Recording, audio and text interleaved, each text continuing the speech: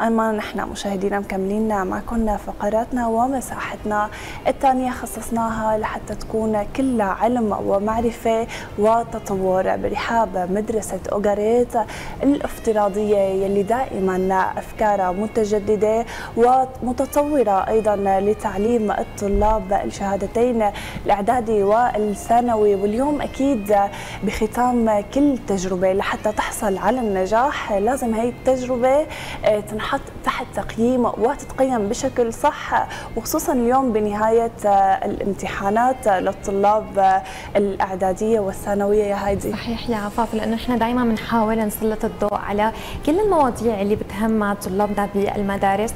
مدرسة أوغاريت الافتراضية من أوائل المدارس الافتراضية السورية. أي شخص حابب يكمل تعليمه إن كان برا البلد فهو قادر.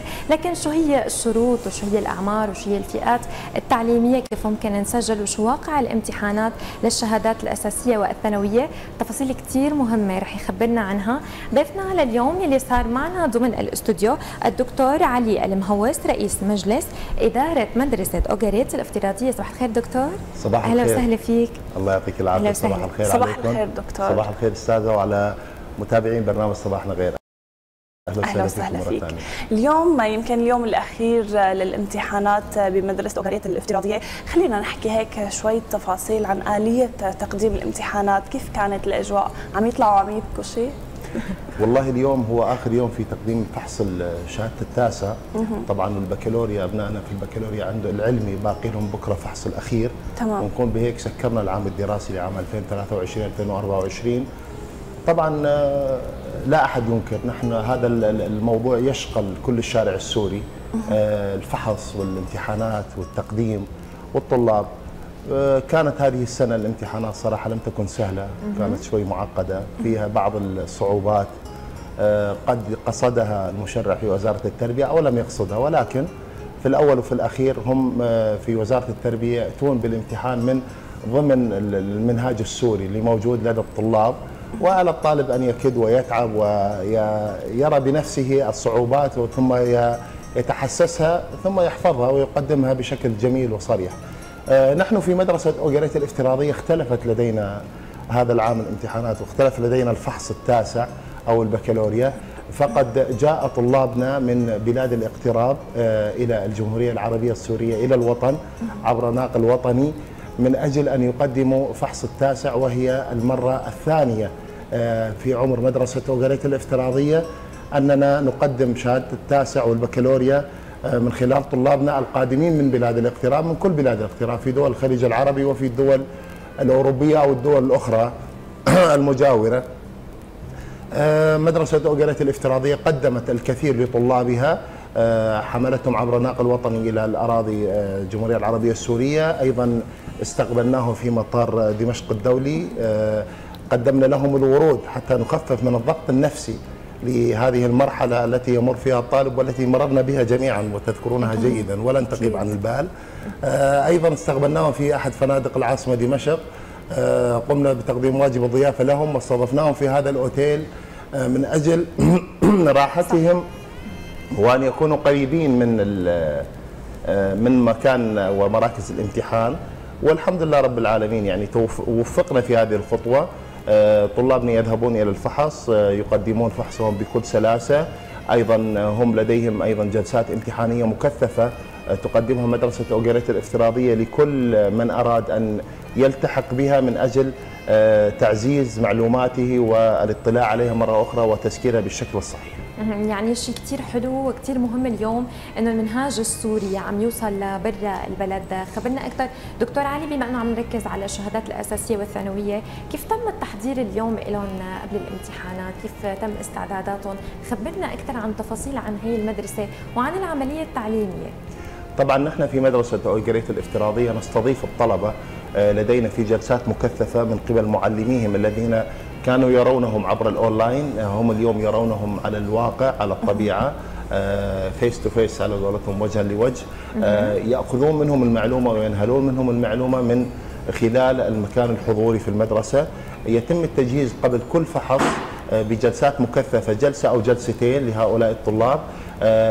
طبعا كونهم في بلاد الاغتراب ويجهلون طريقة الفحص في الجمهورية العربية السورية نحن نقدم لهم نماذج من من ورقة الأسئلة ونماذج من ورقة الأجوبة وكيفية التعامل معها وكيفية الالتزام بالقانون بوضع الهوية على الطاولة وكيفية الانتباه إلى مراقب القاعة. أيضا تكثيف العمل وتكثيف المعلومات لهم واستنهاضها لديهم من خلال معلميهم من أجل أن يذهبوا إلى الفحص وهم بحالة نفسية مهيئين جدا ونحن نعلم أن الحالة النفسية مهمة جدا أكيد. في هذه اللحظة وفي هذه الظروف. نعم. طبعا دكتور علي اليوم أي تجربة بدها تتكلل بالنجاح لازم يتم في إلى تقييم وهذا التقييم بمدرسة أوغارية الافتراضية اليوم كيف كان عم يتم من خلال تجربتكم؟ طبعا نحن في مدرسة أوغارية الافتراضية حرصنا أن نقدم جودة العلم جودة العلم كانت بحصولنا على شهادة الآيزو 9001 من المؤسسة الدولية المانحة لهذه الشهادة وهي فرع دمشق. استطعنا أيضا من خلال هذه الشهادة أن ندرب طاقمنا التعليمي وطاقمنا الإداري على إدارة ضبط الجودة في العملية التعليمية والعملية الإدارية لمدرسة اوغيريت الافتراضية. كل هذا الشيء نقوم به من أجل تقديم خدمة أفضل وخدمة تكون مناسبة يستطيع الطالب أن يتلقاها بشكل سليم وجميل وبمعايير دولية. نحن في سوريا دائما نرقى إلى العالمية. والمدارس الافتراضية السورية هي مدارس تخطت حدود الوطن وأصبحت عالمية. ولا سيما اليوم في مدرسة أوغريت أو أي مدرسة افتراضية أو أي مؤسسة سورية تخرج خارج حدود الوطن أن تكون ضمن ادوات وقواعد ضبط الجوده العالمية حتى تقدم انموذجا للمؤسسة السورية الناجحة في بلاد الاقتراع أكيد يعطيكم ألف عافية جهود كثير مهمة اليوم ومساعدة لطلابنا بالمدارس ولا سيما المدرسة الافتراضية. خبرنا أكثر دكتور علي عن المدرسة اليوم فيها منهاج في أبي خبرنا أكثر عن المنهاج عن الشروط عن كيفية اليوم التسجيل بهذا المنهاج. طبعا التعلم الافتراضي لماذا التعلم الافتراضي لماذا أطلقت وزارة الجمهورية وزارة التربية في الجمهورية العربية السورية هذا المنهج وهذا النمط من أنواع التعلم. الدولة السورية هي دولة حريصة على مواطنيها سواء كانوا في الوطن أو كانوا في دول الاغتراب. تقرب المواطن السوري وخرج من وطنه بظروف غير عادية. منهم خرج حتى لم يأخذ معه أي ثبوتيات أو أي أوراق. وكان الهدف هو النجاة بأرواحهم من نتيجة هذه الحرب الشعواء التي كانت على وطني وعلى أبناء وطني. عند خروجهم كان هناك الكثير من أبناء الجالية السورية لا يحملون أي أوراق ثبوتية في بلد الاغتراب، الأمر الذي أدى بهم إلى العزوف عن التعليم، لأن في دول الاغتراب يجب أن يكون لديك أوراق ثبوتية كاملة حتى تستطيع أن تكمل العملية التعليمية. وزارة التربية السورية رأت هذا المكان ورأت هذا العدد الكبير من أبنائنا في دول الاغتراب فأرادت أن تنير وتبعث شعاع النور مرة أخرى من سوريا من دمشق إلى كل من أراد أن يلتحق بهذا الركب مرة أخرى حتى لا يكون هناك مواطن سوري سواء كان في الاغتراب أو في داخل الوطن بعيد عن العلم. نحن السوريين نستطيع أن نستغني عن الأكل عن الشرب ولكن لا نستطيع أن نستغني عن التعلم لأننا بلد الحضارات وبلد العلم وبلد التعلم. التعلم الافتراضي أو مثل ما حضرتك سألتيني هو يعني تعلم يتبع المنهج السوري. في ظل هذه الظروف التي تحدثنا عنها كان هناك بعض الطلاب الذين انقطعوا قصرا عن التعلم فأصبحت أعمارهم تفوق أعمار سن التقدم اللي هو ست سنوات. هنا أيضا رأى المشرع السوري في وزارة التربية السورية أن يكون لهؤلاء الطلاب نصيب ولكن بطريقة أخرى، أن يدمج كل صفين بصف واحد دراسي ويقدم بذلك شهادة معتمدة لدى كل دول العالم أن هذا الطالب درس الصف الأول والثاني بشهادة واحدة إلى أن يلحق بأترابه من الطلاب الآخرين فيصبح بنفس مستواهم ثم يستطيع أن يكمل عمليته التربوية التعليمية وتحصيله العلمي بنفس الوتيرة التي يقدمها الطلاب العاديين. فكان منهاج في ابي صراحة منهاج مكثف لطلابنا وكان فكرة ناجحة عظيمة جدا تحسب لوزارة التربية السورية أنها أنشأتها من أجل أن لا ينقطع الطالب السوري ولا يكون هناك تخلف بين الفارق العمر والفارق التحصيل التعليمي. دائما عم تخرجوا بأفكار رائدة دكتور علي ودائما في تطور بالأفكار والأشياء اللي عم تقدمها مدرسة أوغاريت الافتراضية، اليوم كيف عم تسعوا لهذا التطوير وشو في تطورات لسه قادمة أكثر؟ سيدتي نحن في مدرسة أوغريت الافتراضية وضعنا نصب أعيننا أهداف ثلاثة آه، عم نشتغل عليها في كل اللحظات. هدفنا الأول تربوي ثم وطني ثم إنساني. نحن لا ندرس فقط المنهاج السوري نحن ندرس التربية الوطنية السورية. نحن نربي الطالب المغترب السوري آه، خارج وطنه على آه، الوطنية. كل معلمينا عندما يقدموا الدرس في لطلابهم في الخلفية ترينا العلم السوري دائما. فهذا يصنع عند الطالب ردة فعل أن هذا العلم هو علم وطنه وأن هذه الدولة دولته السورية وأنه عم يتعلم من منهاج سوري خالص. آه آه هذا الشيء يعني أتاح لطالبنا في بلد الاغتراب أن يلتصق ويعود إلى وطنه. آه نحن لم يؤذينا البعيد أكثر ما آذانا ابن الوطن الذي خرج علينا. خرج إما لجهل وإما لقلة معلومة. فاليوم نحن في مدرسة أوغريت الافتراضية آه، نمشي في هذا النهج وهذا الهدف ونحاول تحقيقه على الواقع. من خلال مشاركات كثيرة تقوم بها مدرسة أوغريت الافتراضية مثلا آه، مشاركة أبنائنا آه، مع أبناء شهداء الوطن مع مدارس أبناء الشهداء. كان هناك دمج وصداقة وزمالة بحيث يلتقي الطلاب أبناء الشهداء مع طلابنا في بلاد الاغتراب هؤلاء يشرحون ظروفهم ظروف استشهاد آبائهم وأهليهم وهؤلاء يستمعون إلى هؤلاء ويعرفون ويقدرون معنى الشهادة ومعنى الوطنية التي قدمت فيها أرواح من أجل أن يبقى وطنهم عزيزا سالما. أيضا هناك رسالة إنسانية تقدمها مدرسة أوغريت الافتراضية. كلنا يعلم في بلاد الاغتراب القيمة المادية للتعلم غالية جدا وعالية التكاليف.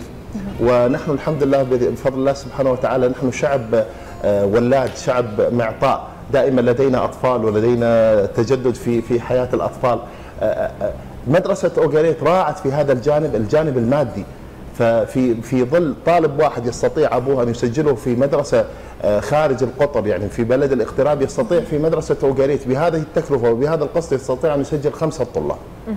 هذا العمل ليس يعني في البداية ليس هو مضمون ربحي ولكن الربح في هذا العمل أن تعزز في طالبك في في بلد الاغتراب روح الوطنية كما تمناها علينا السيد الرئيس في أحد لقاءاتنا معه بال 2016 عندما تمنى علينا أن نربط الطفل المغترب السوري بوطنه وليس هناك أفضل من العلم وليس هناك أفضل من المنهاج السوري أن يربط به هذا الطالب. صحيح، اليوم دكتور يمكن في كثير لغط من بعض الناس عن المدرسة الافتراضية السورية اليوم، هل الشهادات اللي عم تقدم اليوم لطلاب الشهادات الأساسية والثانوية هل هي معتمدة؟ خبرنا أكثر تفاصيل. بالنسبة للشهادات الأساسية هي شهادات نحن كما رأيتم وكما سألتمنا في بداية اللقاء طلابنا أتوا إلى هنا إلى القطر ويقدمون مثلهم مثل أي طالب في أي مدرسة سورية. آه، عندما يقدم بطاقة الامتحان هو ليس مكتوب على بطاقته سواء افتراضي وغير افتراضي هو الآن هو طالب عربي سوري عم يقدم فحصه مثله مثل كل الطلاب. وعندما تخرج شهادة التعليم الأساسي سواء التاسع أو البكالوريا تخرج مثله مثل أي طالب مقيم في الجمهورية العربية السورية. وبذلك يستطيع هذا الطالب الحصول على المفاضلة في في البكالوريا التي تقدمها الجمهوريه العربية السورية لطلاب الوطن اللي موجودين في البلد. فهو مثلهم يعني على قولتنا بالعامية سعره بسعرهم بالنسبة للطلاب الفصول الانتقالية أو الصفوف الانتقالية يعني آه، هم طلاب يدرسون يتعلمون يقدمون فحص. هذا الفحص وهذا الاختبار له قاعدة بيانات وديكمنتس موجود لدى وزارة التربية السورية تستطيع الاطلاع عليها تحليلها ومن ثم منح شهادات سورية مصدقة من قبل وزارة التربية السورية ومصدقة من قبل وزارة الخارجية السورية.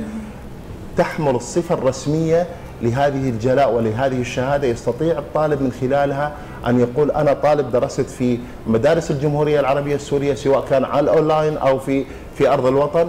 آه، أتحنا هذه الفرصة للجميع من أجل أن يكون هناك طالب سوري آه، متعلم نستطيع تقديمه للعالم أنه إنسان مثقف وإنسان حضاري. بما أنه الفرصة متاحة اليوم دكتور علي لكل الطلبة اللي بدهم يسجلوا بمدرسة أوغاريت الافتراضية، اليوم شو هي الشروط يلي لازم تكون موجودة عند هدول الطلاب؟ وشو هي آلية التسجيل؟ وكيف بيتواصلوا مع المدرسة لحتى يسجلوا؟ طبعا سؤال قصير ولكن الاجابه عليه طويله جدا. ولكن نختصرها. في عدة بنود لإنه لازم كل بنت نختصرها. طبعا نحن مدرسة سورية عادية نتبع في التعليمات لتعليمات وزارة التربية السورية تمام. بكل شيء إلا مثل ما قلنا هي الفئة ب هي التي نتميز فيها أن هناك طلاب يستطيعون الدخول عبر الفئة ب ولكن من خلال سبر معلومات تقوم به المدرسة من خلال لجنة اختبارية تشكلها المدرسة وتوافق عليها وزارة التربية السورية آه، نقوم بفحص هذا الطالب وتحديد حجم المعلومات التي لديه ثم نقرر بأي صف سوف يكون. هذا لمن لا يحمل أي أوراق تخص هذا آه، شرط أساسي. نعم هذا شرط أساسي حتى يقبل في تمام. يعني ما فينا نحط طالب صف سادس وهو لا يستطيع القراءة والكتابة. مم. نحن حريصين جدا على هذه النقطة. آه، من يحمل أوراق ثبوتية أوراق رسمية تخص انتقاله من إلى هذا أمر سهل ومعروف لدينا. من يحق له أن يدرس في مدرسة أوغاريت الافتراضية؟ كل مواطن عربي سوري أقام في دول الاغتراب يحق له أن يدرس في هذه المدرسة. لا يعني في بلد الاغتراب قد لا يستطيع أن يسجل هذا الطالب في في وزارة التربية أو في المدرسة اللي في بلد الاغتراب ولكن في سوريا إن لم يكن يحمل إقامة. ولكن عندنا في مدرسة أوغريت الافتراضيه يستطيع أن يسجل بما أنه شيء يثبت أنه مواطن عربي سوري. هذا الشرط الوحيد اللي إحنا بدنا إياه. ومن ثم الباقي من الشروط هي كما حددتها وزارة التربية السورية يستطيع هذا الطالب إن كان في بداية مقتبل عمره أن يدرس في الصف الأول ثم يتدرج وإن كان من الصفوف من المدارس التي انتقل إليها انتقالا إلى مدرستنا أيضا هناك آه، أوراق ثبوتية مطلوبة منه. ولكن على المطلق آه، كل شيء متاح وكل شيء سهل وكل شيء يدعو الطالب السوري المغترب إلى أن ينضم إلى هذا الركب التعلم الافتراضي سواء اوجريت ولا أي مدرسة أخرى وأن يكون إنسان ناجح في الحياة ليس متخلفا عنها وليس منقطعا عن التعليم فيها. واليوم يمكن كثير مهم إنه تكون المدرسة داعمة لطلابها ولا سيما الطلاب المميزين والمبدعين، واليوم بنسمع إنه آه، ضمن المدرسة عم بيكون في آه، مجموعة من الأنشطة والفعاليات اللي عم تكون داعمة للطلاب اللي عندهم مواهب، خبرنا أكثر عن أهمية هي الأنشطة كل قديش تقام وأهميتها بالنسبة للطلاب. صحيح استاذتي الفاضله نحن في مدرسة اوجريت الافتراضية والحمد لله لدينا طلاب آه هذا العام يعني عندما وزعت الجلاءات حصلوا على نسبة 99.5 يعني آه، وهذه نسبة عالية جدا وهناك طلاب في المرحلة الابتدائية حصلوا على العلامات الكاملة. هذا بفضل الله سبحانه وتعالى وبفضل الخطة التعليمية التي وضعتها المدرسة من خلال معلميها وإدارييها. اليوم أيضا نحن في مدرسة أوغريت الافتراضية فترة الصيف طويلة وكبيرة. يستطيع الطالب السوري في بلاد الاغتراب أن يلتحق بالأندية الصيفية وبالمشاركات التي تقدمها مدرسة أوغاريت لطلابها حصرا آه، يستطيع أن يقوي أيضا معلوماته ويستطيع أن يطور أداءه من خلال النادي الصيفي التي تقيمه المدرسة آه، لاستقطاب طلابها خلال فترة الصيف. آه، يعني فترة الصيف فترة مملة في بلاد الاغتراب يعني ما فيها شغل ما في روحة ولا جية.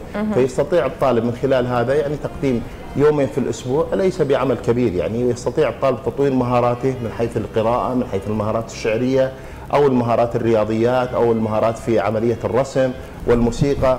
آه لا يستغرب البعض أننا في مدرسة أوجيلات الافتراضية لدينا تربية موسيقية ويستطيع الطلاب أن يقدموا يعني آه آه معزوفات من خلال تعلمهم عبر الأونلاين. معزوفات تخص مثلا الموسيقى وإيقاعاتها ومعزوفات آه، موسيقية في السولو بشكل كامل كأنهم عم يتعلموا أمام المعلمين.